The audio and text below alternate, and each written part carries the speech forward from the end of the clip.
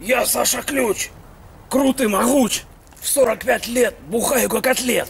Телку снимаю, между ног вставляю. На химии сижу, таблетки грызу. Мой корешок, брат Портвишок. Три топора, пацаны, пейте все, и будет заебись.